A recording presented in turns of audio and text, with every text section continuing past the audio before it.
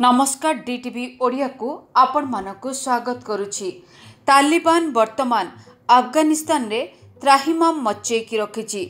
ଯେଉଁପରି ଭାବରେ ତାଲିବାନୀ ଆତଙ୍କବାଦୀମାନେ ନିଜର ନିୟନ୍ତ୍ରିତ ସହରରେ ବୁଢ଼ା ଛୋଟ ପିଲା ଏବଂ ମହିଳାମାନଙ୍କ ଉପରେ ଅକଥନୀୟ ଅତ୍ୟାଚାର କରୁଛନ୍ତି ଏହା କାହାକୁ ମଧ୍ୟ ଅଛପା ନାହିଁ। ଏହା ସହିତ ଏକଥା ମଧ୍ୟ କାହାକୁ ଅଛପା ନାହିଁ କି ଏଥିରେ ପାକିସ୍ତାନର କେତେ ବଡ଼ ଯୋଗଦାନ ରହିଛି? ଏଥିପାଇଁ ବିଶ୍ୱର କୋଣ କୋଣରୁ ଆଫଗାନୀ ସମୁଦାୟର ଲୋକମାନେ ପାକିସ୍ତାନଠାରୁ ପ୍ରତିଶୋଧ ନେବା ପାଇଁ ନିର୍ଣ୍ଣୟ ନେଇସାରିଛନ୍ତି ପ୍ରକୃତରେ ଏବେ ଏକ କଥା ଦୃଷ୍ଟିକୁ ଆସିଛି କି ଆଫଗାନିସ୍ତାନ ପାକିସ୍ତାନ ବିରୁଦ୍ଧରେ ଆର୍ଥିକ ପ୍ରତିବନ୍ଧତା ଲଗାଇବାକୁ ଏକ ବିଶେଷ ଅଭିଯାନ ପ୍ରସ୍ତୁତ କରିସାରିଛି। କିନ୍ତୁ ଏପରି ଲାଗୁଛି କି ସେହି ବିଶେଷ ଅଭିଯାନ କେବଳ ଆର୍ଥିକ ପ୍ରତିବନ୍ଧତା ଭିତରେ ସୀମିତ ରହିବ ନାହିଁ। ଆମେରିକାରେ ରହୁଥିବା ପ୍ରବାସୀ ଆଫଗାନୀମାନେ ୱାଶିଂଟନ ଡିସିରେ ପାକିସ୍ତାନର ଦୂତାବାସ ସମ୍ମୁଖରେ ଇସଲାମାବାଦ ବିରୁଦ୍ଧରେ ବିରୋଧ ପ୍ରଦର୍ଶନର ଯୋଜନା ପ୍ରସ୍ତୁତ କରିସାରିଛି। ପ୍ରଦର୍ଶନକାରୀ ପାକିସ୍ତାନ ବିରୁଦ୍ଧରେ ପ୍ରଦର୍ଶନକୁ ଏକ ବଡ଼ ସ୍ୱରୂପ ପ୍ରଦାନ କରିବାର ପ୍ରଚେଷ୍ଟା କରିବେ। ଯାହାଦ୍ୱାରା ଆଫଗାନିସ୍ତାନରେ ପାକିସ୍ତାନର ପ୍ରକ୍ସି ଆକ୍ରମଣକୁ ଅଟକାଇ ଯାଇପାରିବ।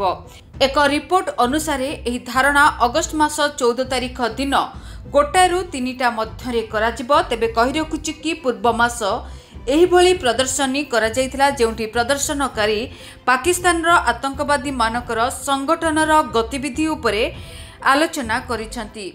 ଆଫଗାନିସ୍ତାନ ବିଷୟରେ ପାକିସ୍ତାନର ହସ୍ତକ୍ଷେପ ବିରୋଧରେ ଆଫଗାନିସ୍ତାନର ପ୍ରବାସୀ ଜର୍ମାନୀର ବାର୍ଡେନ୍ ବୁର୍ଖା ଗେଟ୍ ସମ୍ମୁଖରେ ଏକତ୍ରିତ ହୋଇକି ଏହି ପ୍ରଦର୍ଶନ କରିସାରିଛନ୍ତି।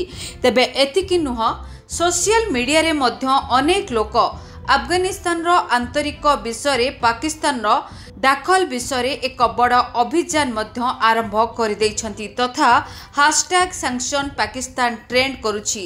ଏହାଛଡ଼ା ପାକିସ୍ତାନର ମଧ୍ୟ ଆଫଗାନିସ୍ତାନ ସରକାରଙ୍କ ସମର୍ଥନମାନେ ଅଭିଯାନ ଆରମ୍ଭ କରିସାରିଛନ୍ତି। ପାକିସ୍ତାନରେ ଉପସ୍ଥିତ ଥିବା ପଣ୍ଟୁସ୍ ମଧ୍ୟ ଏବେ ଇମ୍ରାନ ଖାନ ସରକାରଙ୍କ ବିରୁଦ୍ଧରେ ମୋର୍ଚ୍ଚା ଆରମ୍ଭ କରିଦେଇଛି।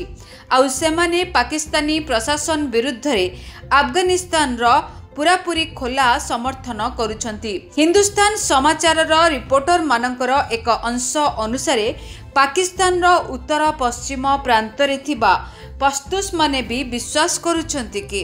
ଆଫଗାନିସ୍ତାନର ଖରାପ ଅବସ୍ଥା ପାଇଁ ପାକିସ୍ତାନ ହିଁ କେବଳ ଦାୟୀ ଅଟେ। ସେମାନଙ୍କର ଏହା ମଧ୍ୟ ବିଶ୍ୱାସ ରହିଛି କି ଆତଙ୍କବାଦୀ ସଂଗଠନ ପଛରେ ଇସଲାମାବାଦର ହିଁ ସପୋର୍ଟ ରହିଛି।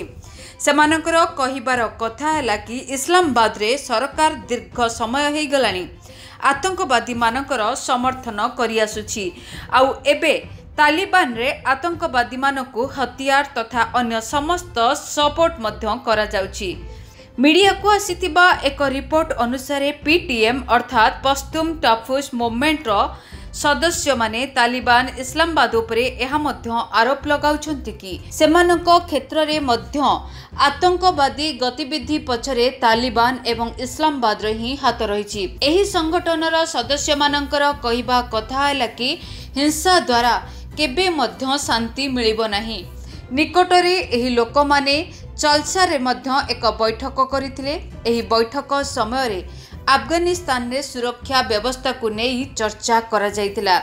ତେବେ କହି ରଖୁଛି କି ଏହି ଜାଗା ତୈବୁର ତକ୍ତନ ଖାନ କ୍ଷେତ୍ରରେ ଅବସ୍ଥିତ ଅଟେ। ପାସ୍ତୁନମାନେ ଆଫଗାନୀ ସୁରକ୍ଷାକର୍ମୀମାନଙ୍କ ଉପରେ ତାଲିବାନୀ କାର୍ଯ୍ୟର ନିନ୍ଦା କରିବା ସହିତ ୟୁଏସ୍ଏ ଦୋହା ଡିଲ୍ର ମଧ୍ୟ ନିନ୍ଦା କରିଥିଲେ। ସେମାନଙ୍କର କହିବାର ଅର୍ଥ ଏହା ଅଟେ କି ଏହି ଡିଲ୍ ଦ୍ୱାରା ଆତଙ୍କବାଦୀମାନଙ୍କୁ କାନୁନି ମାନ୍ୟତା ମିଳିଥାଏ। ସେମାନଙ୍କୁ ଏହି କଥାର ମଧ୍ୟ ଡର ରହିଛି କି ଆତଙ୍କବାଦୀ ସଂଗଠନ ନର୍ଥ ୱେଷ୍ଟର୍ଣ୍ଣ କ୍ଷେତ୍ରରେ ମଧ୍ୟ ଯଥାଶୀଘ୍ର ଆକ୍ରମଣ କରିଦେବ। ଆଉ ଏହାର ବ୍ୟାପକ ପ୍ରଭାବ ମଧ୍ୟ ପଡ଼ିବ। ଏହା ଛଡ଼ା ତାଲିବାନ ଯେଉଁପରି ଭାବରେ ଅତ୍ୟାଚାର କରୁଛି ଏବଂ ଅନେକ ଥର ଘୋଷଣା କରିଛି ମହିଳାମାନଙ୍କୁ ସରେଣ୍ଡର କରିବାର କଥା କହୁଛି ତ ଏଥିରୁ ସ୍ପଷ୍ଟ ଜଣାପଡ଼ୁଛି ପାକିସ୍ତାନ ଏହି ଘୃଣ୍ୟ କାର୍ଯ୍ୟରେ କେତେ ମାତ୍ରାରେ ସକ୍ରିୟ ଅଛି। ଉଣେଇଶହ ଛୟାଳିଶ ମସିହାର ଡାଇରେକ୍ଟ ଆକ୍ସନର ଦଙ୍ଗା ହେଉ ନା ଉଣେଇଶହ ସତଚାଳିଶ ମସିହାର ବିଭାଜନର ପରବର୍ତ୍ତୀ ଦଙ୍ଗା। କିମ୍ବା ଉଣେଇଶହ ଏକସ୍ତରୀ ମସିହାରେ ଅପରେସନ୍ ସର୍ଚ୍ଚ ନାମରେ ଅନ୍ୟ ଭାଷାର ପୁରା ପାକିସ୍ତାନମାନଙ୍କ ଉପରେ କରାଯାଇଥିବା ଅତ୍ୟାଚାର ହେଉ। ତାଲିବାନ ଯେତେବେଳେ ନିଜର ନିୟନ୍ତ୍ରିତ କ୍ଷେତ୍ରରେ ମହିଳା ଏବଂ ବିଶେଷ କରି ଯୁବତୀମାନଙ୍କୁ ଆତଙ୍କବାଦୀମାନଙ୍କର ସେବା ବ୍ୟାଖ୍ୟା କରୁଛି ଏହା ସ୍ପଷ୍ଟ ଅଟେ କି? ସେମାନଙ୍କୁ କିଏ ଉସ୍କଉଛି?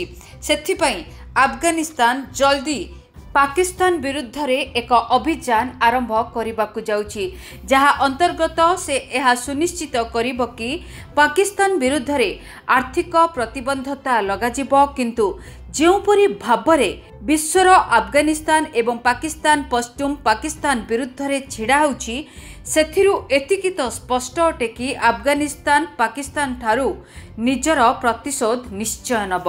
ଘରେ ଟେନସନ୍ ବାହାରେ ବି ଟେନସନ୍ ପୁଅର ଚାକିରି ପାଇଁ ହଉ ଝିଅର ବାହାଘର ପାଇଁ ହଉ। ଘରେ ଅଶାନ୍ତି ମୁଣ୍ଡ ଉପରେ ଋଣର ବୋଝ କୋର୍ଟ କଚେରୀ ମାମଲା ଆଉ ଜମି ଜମା ବିବାଦ ଏସବୁ ଭିତରେ ଆପଣମାନେ ଘାଣ୍ଟି ହେଉଛନ୍ତି ନା? ଏହିସବୁ ଟେନସନରୁ ମୁକୁଳିବାର ରାସ୍ତା ଖୋଜୁଛନ୍ତି କି? ଜାଣିବାକୁ ଚାହୁଁଛନ୍ତି ଆପଣଙ୍କ ସମସ୍ୟାର ସମାଧାନ କେବେ ଏବଂ କିପରି ହେବ? ଦେଖନ୍ତୁ ଭାଗ୍ୟଚକ୍ର। ଆପଣ ସମସ୍ତ ପ୍ରଶ୍ନର ଉତ୍ତର ପାଇପାରିବେ ଆମ କାର୍ଯ୍ୟକ୍ରମରେ। ভাগ্যচক্র। প্রতি মঙ্গলবার, গুরুবার, রবিবার রাতে নটায় কেবল ডিটিভি ওড়িয়ারে ডিটিভি ওড়িয়া দেখিবা পাই সবস্ক্রাইব করন্তু এবং বেল আইকনকু মধ্য দবাই দিয়ন্তু